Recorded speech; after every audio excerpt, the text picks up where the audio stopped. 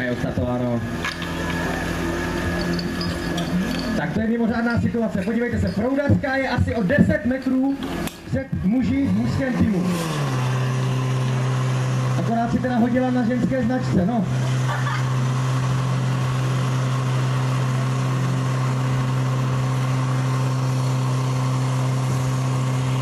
No, ona asi jako běží dopředu, nebo neběží, nebo... No, Tady je, toho... To je spíš kalový čerpadlo tohle. Nakonec.